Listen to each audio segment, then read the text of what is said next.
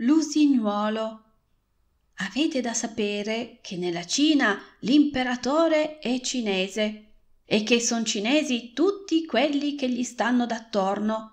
Ciò che vi racconterò è avvenuto molti anni or sono, ma appunto per questo la storia medita d'esser sentita prima che se ne perda del tutto la memoria.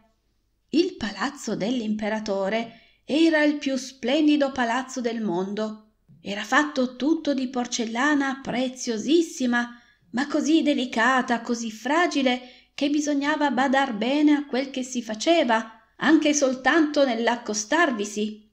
Il giardino era pieno di magnifici fiori, ed ai più preziosi il giardiniere aveva attaccato certi campanellini d'argento per modo che nessuno potesse passare senza osservarli.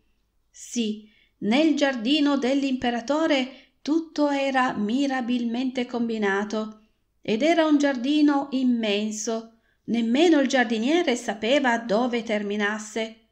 Cammina, cammina, cammina, si arrivava ad una superba foresta con alberi alti e limpidi laghi e la foresta si stendeva avanti avanti sino al mare azzurro e profondo sì che i bastimenti costeggiando potevano passare sotto i rami dei grandi alberi che sporgevano sull'acqua.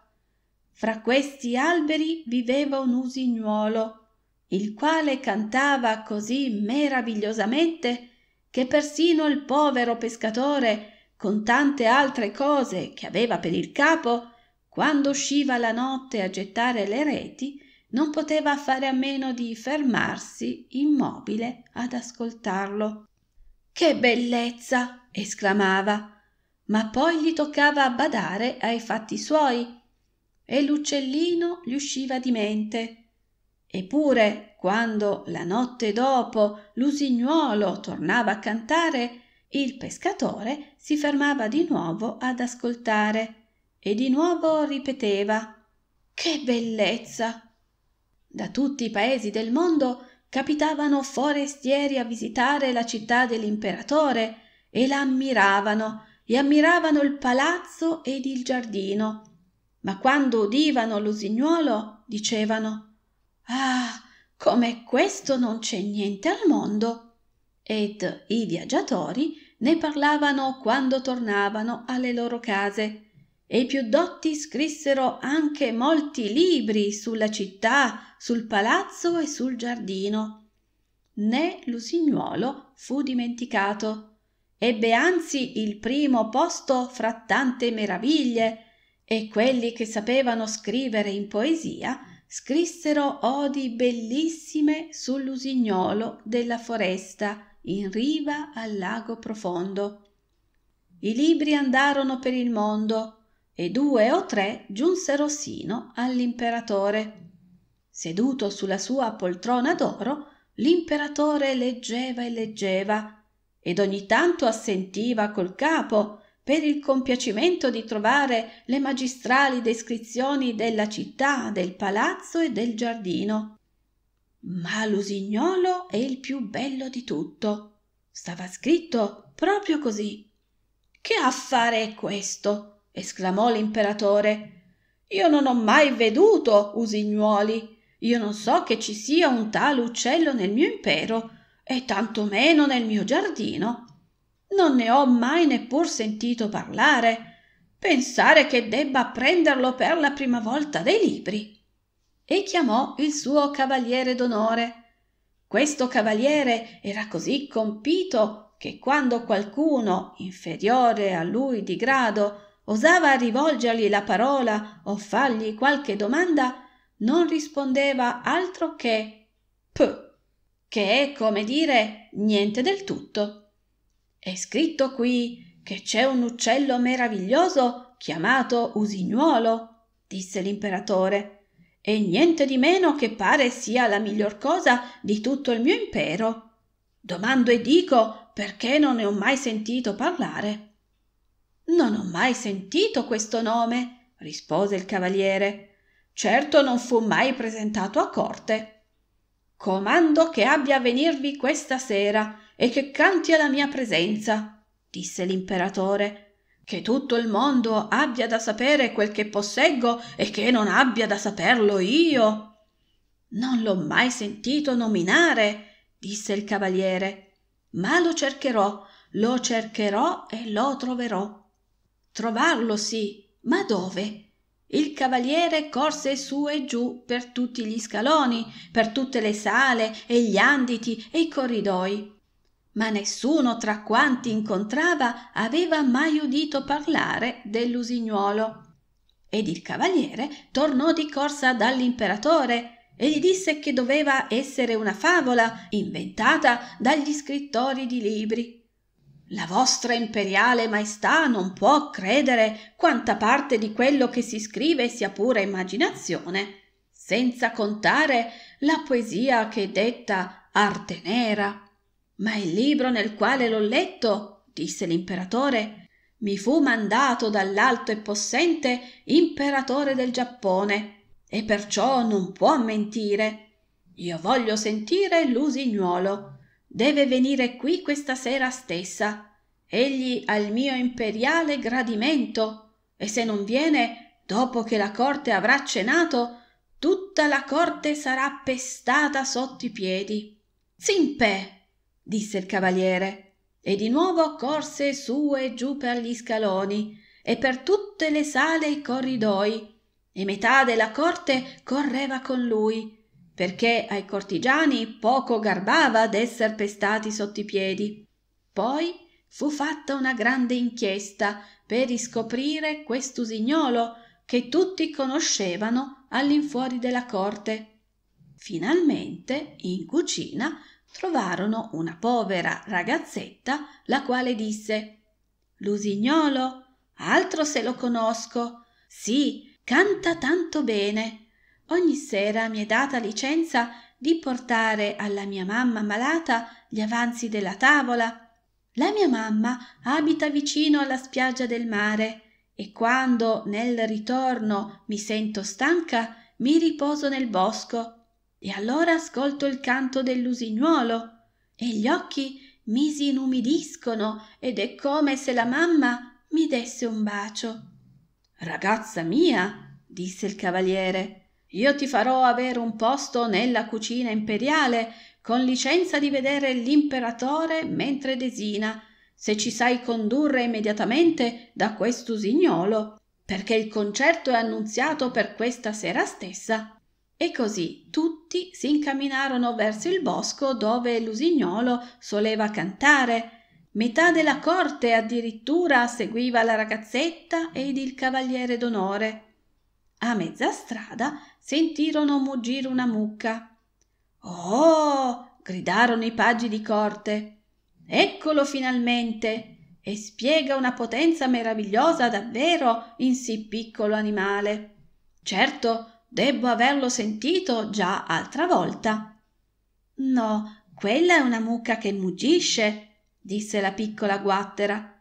Abbiamo ancora un buon tratto di strada da fare. Poi le rane nel fosso cominciarono a gracidare. Magnifico! esclamò il predicatore della corte cinese. Ora che lo sento, somiglia a un campanellino di chiesa. No, quelle son rane, disse la ragazzina, ma ben presto lo sentiremo. Di lì a poco, infatti, l'usignuolo incominciò a cantare. Eccolo! esclamò la ragazzina. Sentite, sentite, è laggiù. E additò un uccellino grigio in un cespuglio.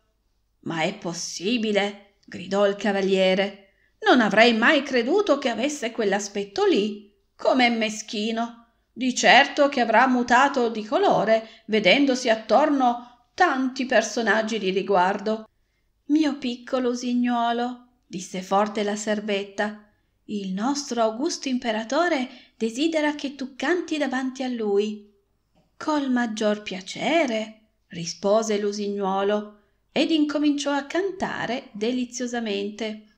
Sembran tanti campanellini di cristallo, disse il cavaliere, e guardate la piccola gola come lavora. È strano che non l'abbiamo mai sentito prima. L'uccelletto avrà un vero successo a corte.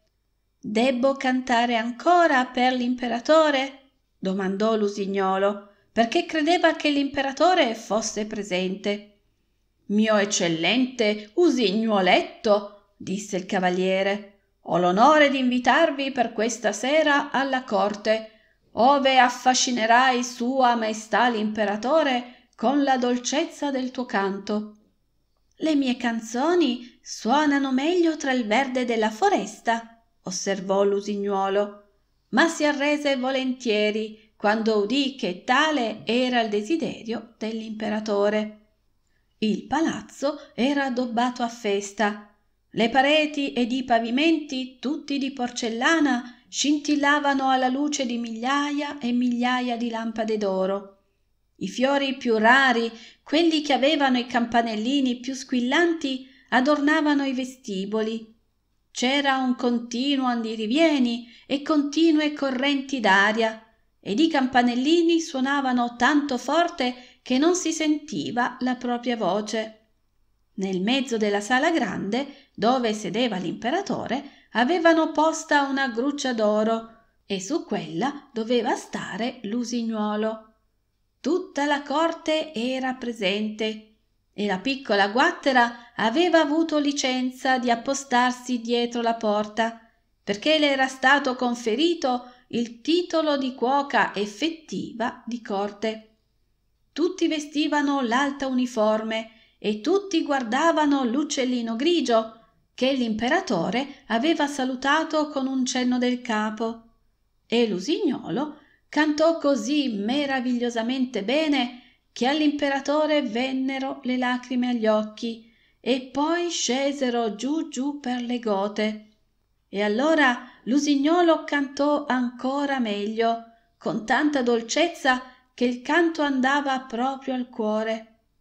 L'imperatore rimase così soddisfatto che voleva conferire all'usignuolo le sue pantofole d'oro perché le portasse al collo.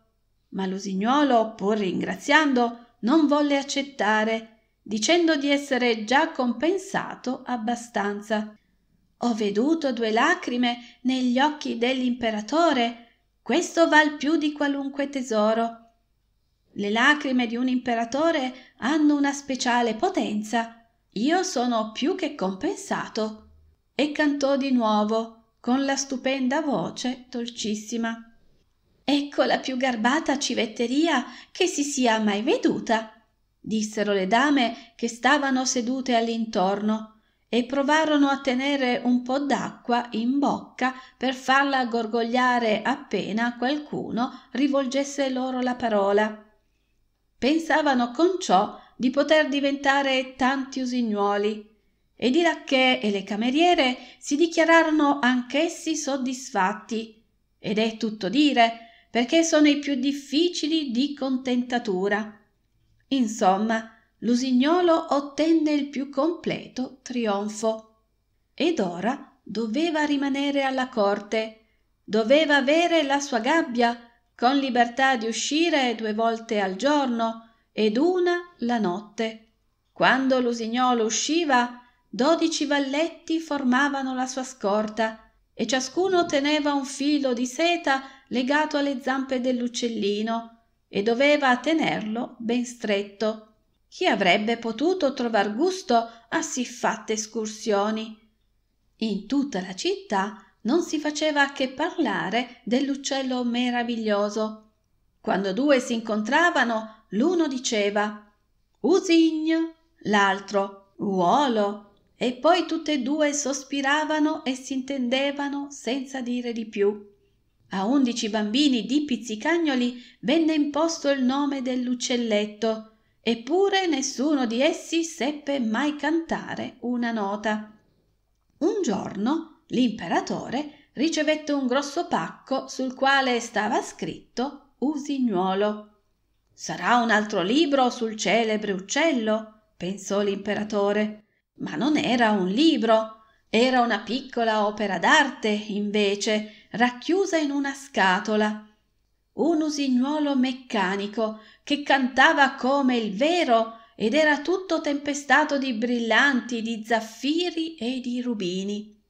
Appena lo si caricava, cantava una delle arie dell'usignuolo vivo e poi moveva la coda e l'oro e l'argento scintillavano.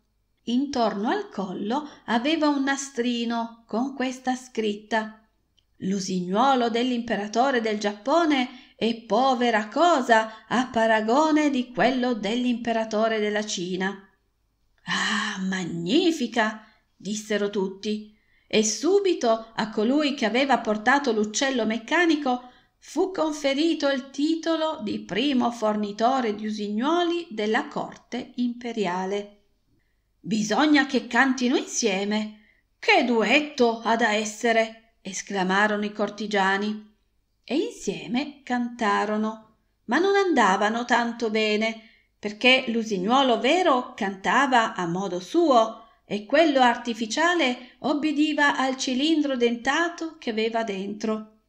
Non è colpa sua disse il maestro della cappella imperiale. Va perfettamente in tempo e quanto alla tecnica è proprio della mia scuola. L'uccello meccanico dovette allora cantare da solo.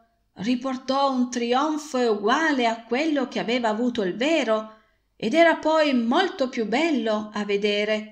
Scintillava come i braccialetti e gli spilli gemmati. Trentatré volte cantò lo stesso pezzo, senza mai stancarsi. La gente l'avrebbe riudito volentieri un'altra volta ancora, ma l'imperatore disse che ora doveva cantare l'usignuolo vivo. Sì, ma dov'era andato? Nessuno aveva notato che era volato via dalla finestra aperta per tornare al verde suo bosco. Che ne è avvenuto? domandò l'imperatore. Tutti i cortigiani dissero un mondo di male dell'usignuolo, tacciandolo della più nera ingratitudine. Dopotutto, dei due ci rimane il migliore, dissero. E così l'uccello meccanico dovette cantare di nuovo. Era la trentesima quarta volta che ascoltavano la stessa canzone, ma non la sapevano ancora bene a memoria perché era molto difficile. Il maestro di cappella lo lodò in particolar modo. Affermava che era migliore dell'usignolo vivo non solo per l'aspetto esteriore e per tutti quei magnifici brillanti, ma anche per il meccanismo interno. Perché, vedete, signore e signori, vedete, soprattutto, Sacra Maestà, con un vero signuolo non si può mai calcolare quello che venga dopo, ma in questo artificiale tutto è preveduto. Si può spiegarselo, si può aprirlo, e far vedere alla gente com'è fatto, dove sia il cilindro, come giri e come una nota chiami l'altra. Per l'appunto quel che volevamo dire noi, assentirono tutti. E il maestro di cappella ebbe il permesso di mostrare l'uccello al popolo la domenica seguente. Anche il popolo aveva da sentirlo cantare, così comandava l'imperatore. E lo sentirono e rimasero così soddisfatti come se si fossero tutti ubriacati di tè, perché questa è proprio la passione dei cinesi.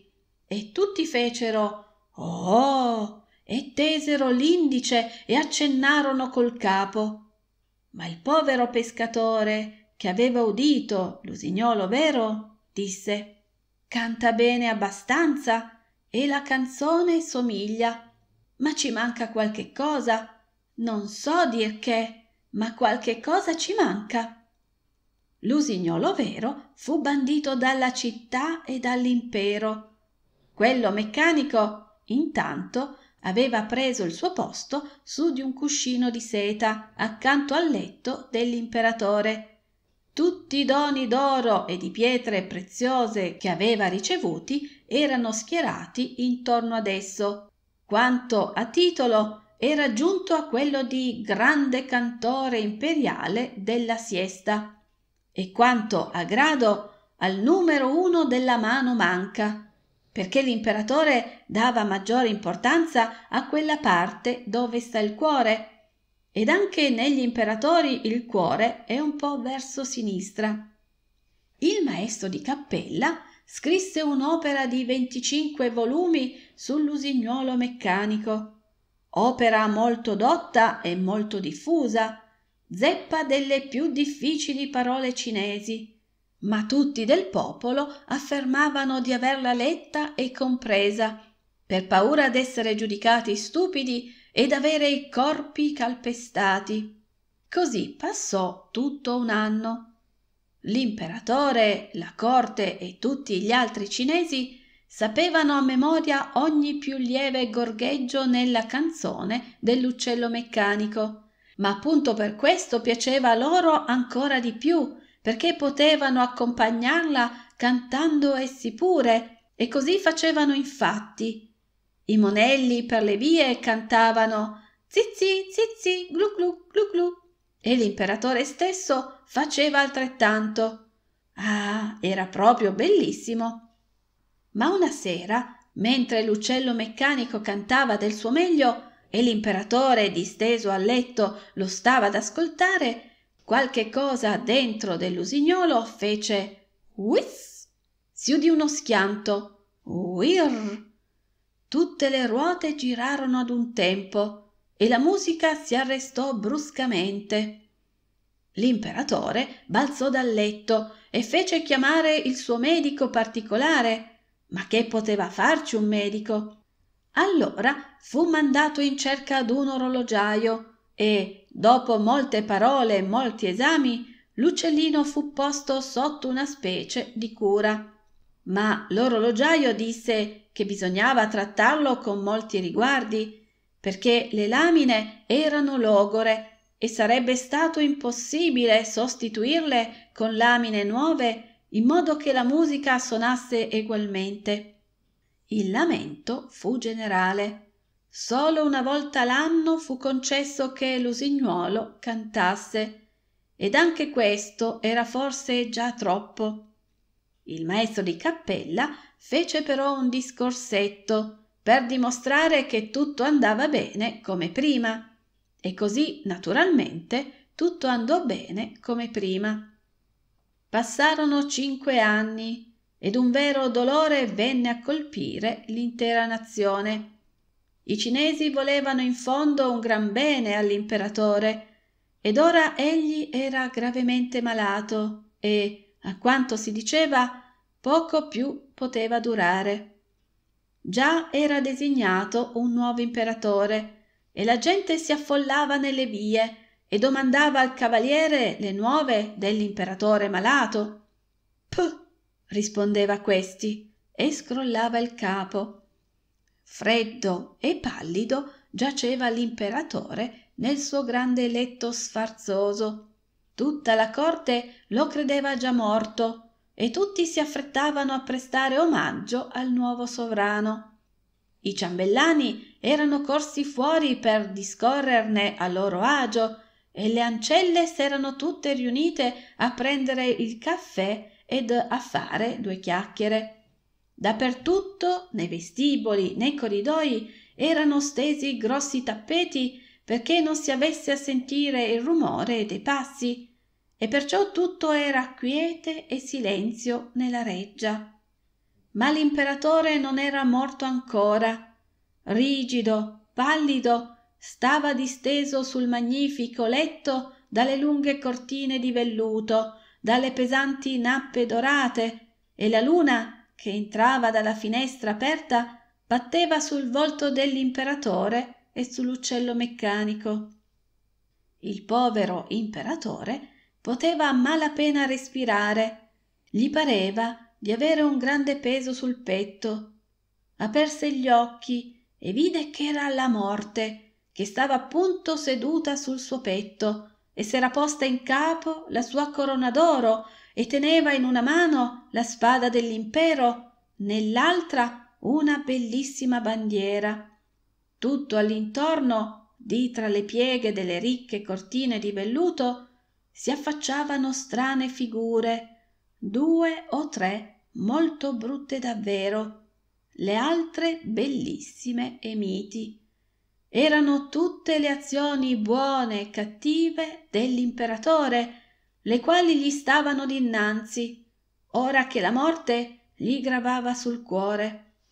Ti ricordi questo? sussurravano l'una dopo l'altra. E quest'altro te lo ricordi? E tra tutte gliene dicevano tante che il sudore gli gocciolava dalla fronte. Questo non lo sapevo, diceva l'imperatore. Musica, musica, presto il grande tam tam cinese, gridava, ch'io non senta più tutto quello che dicono. E quelle continuavano a parlare, e la morte a far di sì col capo a tutto quel che dicevano, come un bonzo di sopra il caminetto. Musica, musica! gridava l'imperatore. A te, prezioso uccellino d'oro, canta, canta! T'ho fatto tanti regali, t'ho dato oro e pietre preziose, ti ho persino appesa al collo la mia pantofola d'oro. Canta ora, canta! Ma l'uccello stava muto. Non c'era lì alcuno che lo caricasse e da solo non sapeva cantare. La morte continuava a fissare l'imperatore con le larghe occhiaie vuote e tutto era silenzio, silenzio terribile. A un tratto, dalla finestra aperta, giunse un canto soave. Era l'usignolo vivo che stava fuori sopra un ramo. Aveva sentito i patimenti dell'imperatore ed era venuto a cantargli un inno di conforto e di speranza, e mentre cantava gli spettri andavano sempre più impallidendo, il sangue correva sempre più e più rapido nelle deboli membra dell'imperatore. Persino la morte ascoltava e, di tratto in tratto, le sfuggiva detto Ancora, ancora, mio piccolo usignuolo. Ma che cosa mi darai se canto ancora? Mi darai quella magnifica spada d'oro? Mi darai quella ricca bandiera? Mi darai la corona dell'imperatore? E per ogni nuova canzone la morte cedette ad uno ad uno i suoi tesori.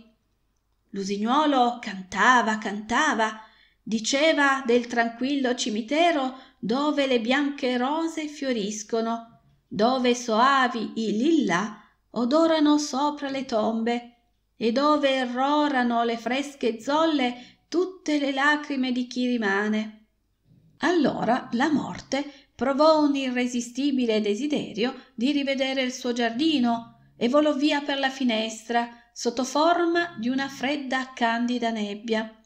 Grazie, grazie, disse l'imperatore. Ben ti riconosco, celeste uccelletto, ti ho bandito dalla città e dall'impero, eppure tu hai scacciato dal mio letto gli spettri del male e hai bandito la morte dal mio cuore. Come potrò mai ricompensarti? Ho già avuto la mia ricompensa, rispose l'usignuolo. Ho veduto le lacrime dei tuoi occhi la prima volta che ho cantato la tua presenza, né potrò mai dimenticarle. Ecco i gioielli che rallegrano il cuore del cantore. Ma ora dormi, se vuoi tornar forte e tranquillo. Ti canterò qualche altra cosa. E cantò, e l'imperatore cadde in un dolce sopore. Ah, com'era soave e ristoro il sonno! Il sole entrava dalla finestra fin sul letto quando si destò riposato e guarito. Nessuno dei suoi valletti era tornato ancora, perché tutti lo credevano morto. L'usignolo soltanto gli stava vicino e cantava. Devi rimanere sempre con me, disse l'imperatore. Canterai come ti piace, ed io farò a pezzi l'uccello meccanico. No, davvero, rispose l'usignuolo. Esso ha fatto del suo meglio finché ha potuto. Conservalo come solevi sino ad ora. Io non posso fare il mio nido nel palazzo per viverci sempre. lascia che ci venga quando ne sento il desiderio. Allora, la sera, mi poserò sul ramo accanto alla tua finestra e ti canterò qualche cosa che ti farà lieto e pensoso insieme. Ti canterò di quelli che sono felici e di quelli che soffrono. Ti canterò del bene e del male che è intorno a te e ti rimane celato.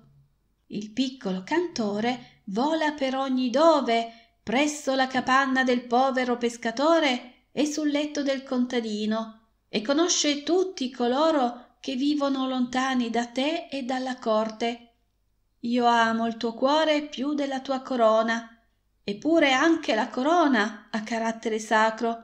Verrò e canterò per te, ma mi devi promettere una cosa. Tutto quello che vuoi, disse l'imperatore, e stava ritto nella sua veste imperiale che aveva indossata da solo, e stringeva al cuore la pesante spada d'oro. Di una cosa ti prego, non dire ad alcuno che hai un uccellino, il quale ti tiene informato di tutto, e a questo modo le cose andranno molto meglio. E l'usignolo volò via. I valletti entrarono per dare un'occhiata all'imperatore morto e sì, altro che morto. L'imperatore era lì, tranquillo, che li salutava. Buongiorno, ragazzi.